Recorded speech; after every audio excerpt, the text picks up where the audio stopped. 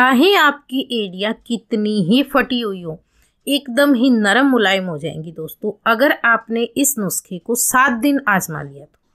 पूरी सर्दियों में आपकी एड़िया एकदम स्मूथ और मुलायम बनी रहेंगी। अगर आपने ये एक बार लगा लिया तो दिन में सिर्फ़ आपको एक बार लगाना है। बहुत ज़्यादा मेहनत नहीं करनी है। बनाने में बिल्कुल आपको दो मिनट भी नहीं लगेंगे। और सामग्री जो हमने इसमें ली है ना, वो हर जगह पे आपको आसानी से मिलने वाली है। बस आप एक बार बनाकर रख लें और पूरी सर्दियों में आप इसका इस्तेमाल कर सकते हो। अगर एरिया ज़्यादा फटी हुई है तो उन्हें ठीक करने के लिए आप इसे लगा सकते हो। और अगर एरिया नहीं फटी हुई है, सिर्फ़ जो स्किन है, वो आरसी हो गई है। तो भी आप अपनी एडियो को नरम मुलायम बनाए रखने के लिए, एकदम जैसे बच्चों की एडिया होती है ना, उस तरह की स्किन हो जाती है एडियो की, दोस्तों। एकदम ही सॉफ्ट तो आप जो है इस नुस्खे को बनाकर रख सकते हो। तो यहाँ पे आप देख रहे हैं ना, ये हमारे पास है दोस्तों चंपा के फूल। इसको चंपा चमेली वगैरह बोलते हैं। उसके फूल हैं, कहीं भी गार्डन में आसानी से मिल जाते हैं। और आपको सिर्फ़ थोड़े से एक मुट्ठी फूल लगेंगे और नुस्खा कम से कम महीने भर के लिए आप बनाकर तैयार कर लेंगे। जैसे आप लोशन और क्रीम वगैरह लगाते हैं ना, इसी तरीके से आपको ये अप्लाई करना है। बस वीडियो में आप बने रहना कैसे क्या सावधानियाँ आपको रखनी है? आगे सारी चीज़ें बताऊँगी, कैसे लगाना है, किस टाइम लगाना है। ये जो फूल है ना, अगर आपको लगे इनके ऊपर धूल मिट्टी वगैरह है तो आप इन्हें धोकर साफ़ करके ले सकते हो। लेकिन मेरे यहाँ भी बारिश हुई थी तो एकदम ही साफ़ सुथरे फूल जो है, हमें ये मिले हैं। इनको धोने की ज़रूरत नहीं है।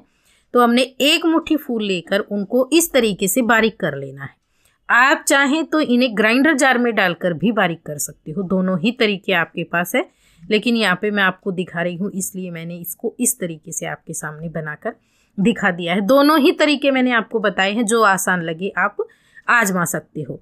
इनको दर दरा सा कूट लेना है, एकदम बारीक पेस्ट नहीं बनाना है। और बारीक पेस्ट अगर जार के अंदर बन भी जाता है मिक्सर में तो कोई दिक्कत भी नहीं है, आप उसका भी इस्तेमाल आसानी से कर सकते हो। ये देखिए, इस तरह से हमने इनको कूट लिया है। ये जो फूल होते हैं ना, इनकी स्मेल करने से दोस्तों, सर का दर्द ठीक हो जाता है। इनको अगर आप मसल कर किसी गाँव पे लगा लेते हैं तो घाव भर जाते हैं।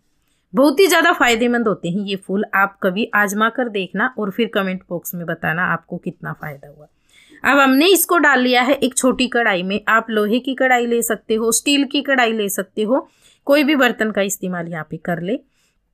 और दूसरी चीज़ जो लेंगे, वो लेना है आपको यहाँ पे नारियल का तेल, जो इसमें हमें लगने वाला है। नारियल का तेल आपको यहाँ पे ले लेना है। इसमें आप सरसों वगैरह का तेल ना डालें। नारियल के तेल का ही इस्तेमाल करें। तो नारियल का तेल जो है, मैं यहाँ पे ये थोड़ा सा बना रही हूँ। अगर किसी की एडिया फटी हुई है तो आप थोड़े से फूल भी ज़्यादा ले लें और नारियल का तेल भी ज़्यादा ले लें। मैं यहाँ पे कम आपको बनाकर दिखा रही हूँ। तो इसलिए मैंने ये चीज़ें कम ली हैं। नारियल का जो तेल है, मेरे पास यहाँ पे जमा हुआ है ये। सर्दी के कारण जम गया है। तो मैंने एक चम्मच फुल भर के ली है ऊपर तक। अगर जमा हुआ है तो आप भी इसी तरीके से ऊपर तक एक चम्मच भर के ले लें। अगर ये थोड़ा सा तया हुआ है, यानी कि लिक्विड है तो आप यहाँ पे कम से कम पाँच चम्मच जो है नारियल का तेल डाल लेना अंदाजे से, पाँच चम्मच की जितना। और फिर इनको अच्छे से मिला लेना। मिलाने के बाद में, जैसे मैंने बताया, आप ज़्यादा भी बनाकर रख सकते हो। इसको रखेंगे हम गैस के ऊपर। बिल्कुल धीमी आँच पर। इसको बनने में चार पाँच मिनट का टाइम लगेगा, बहुत ज़्यादा टाइम नहीं लगता है। बिल्कुल धीमी आँच पर बनाना है आपको। प्रोसेस जो था, वो एक मिनट का भी नहीं था फूल को कूट करिए मिलाने वाला दोस्तों। बहुत जल्दी बनकर तैयार होता है और पूरी सर्दियों के लिए आप इसे एक बार ही बनाकर रख सकते हो। यानी कि 50 ग्राम ऑयल में अगर आपने बना लिया तो पूरी सर्दियाँ निकल जाएँगी, क्योंकि ये जो नुस्खा है ना, इसको आप सिर्फ़ एड़ियों पे लगाएँगे। जैसे कई बार बॉडी लोशन जो होता है, हम पूरे शरीर पे लगाते हैं तो ये उस तरह का नुस्खा नहीं है दोस्तों। पूरी बॉडी पे आपको ये नहीं लगाना है, सिर्फ़ एड़ियों के लिए है ये नुस्खा। जिनकी एड़ियाँ फटी हुई है, पैर बहुत ज़्यादा खराब हो जाते हैं तो आप ये बनाकर रख लेना, बहुत ही ज़्यादा फ़ायदेमंद है दोस्तों। जैसे ही आपको लगे, ये फूल हमने इसके अंदर डाले हैं, ये हल्के से ब्राउन हो गए इनको एकदम काला नहीं करना है जलाकर।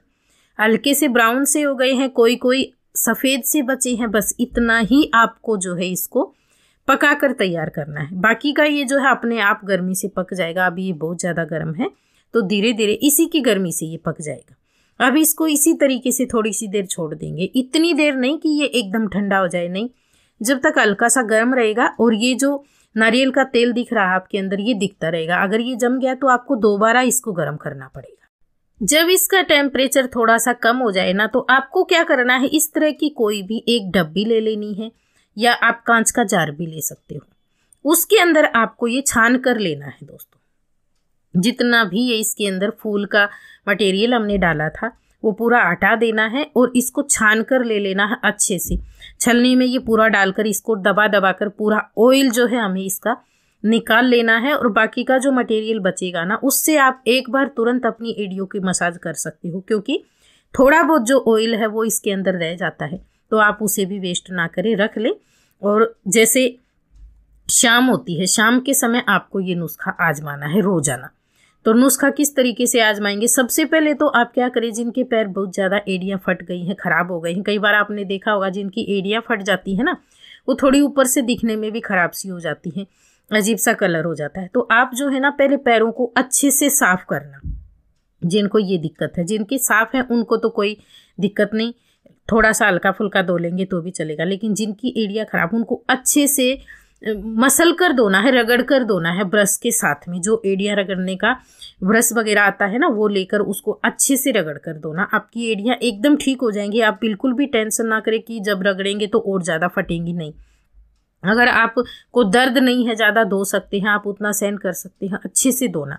और उसके बाद में तुरंत आपको जैसे हमने ये क्रीम बनाई है, आप ये समझिए।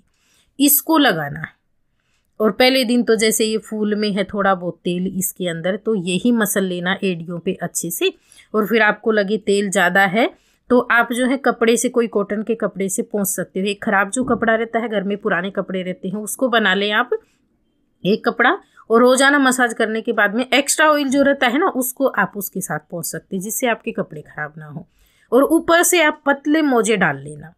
पतले से मोजे लेकर आ जाएँ या रखे होंगे आपके पास, वो डालकर सोना, जिससे कि तेल जो थोड़ा बहुत हल्का फुल्का बचता है, वो भी कपड़ों में ना जाए। लेकिन रोज़ाना आपको ये जो है, शाम को लगाना है दोस्तों, और लगाना भी इस तरीके से है, कम से कम पाँच सात मिनट इसे लगाकर मसाज करनी है अच्छे से एडियों की हाथ से। खुद कर सकते हो ये काम आप। अच्छे से मसाज करना, फिर बाद में आपको लगे एक्स्ट्रा ऑयल है तो किसी भी कपड़े से आप उसे पहुँच देना। लेकिन ध्यान ये रखना दोस्तों, यहाँ पे मैं आपको ये लगाकर बता रही हूँ सिर्फ़। आपको बिल्कुल भी नहीं लगाना है। ऊपर की जो स्किन है, पैरों की या हाथों की, बाकी स्किन पे आपको ये नहीं लगाना है। ये आप सावधानी रखना। वैसे अगर थोड़ी बहुत लग जाती है तो इससे कोई नुकसान नहीं होता है। लेकिन ये जो है ना स्पेशल एड़ियों के लिए है। एड़ियों के जो फटे हुए बड़े बड़े दरार दिखते हैं ना, तुरंत भर जाते हैं। तो लगातार आप महीने भर तक आजमा सकते हो, इसे सात दिन में ही आपको फ़र्क नज़र आ जाएगा। ये था हमारा आज का नुस्खा।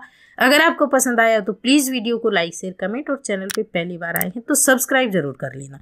वीडियो देखने के लिए धन्यवाद।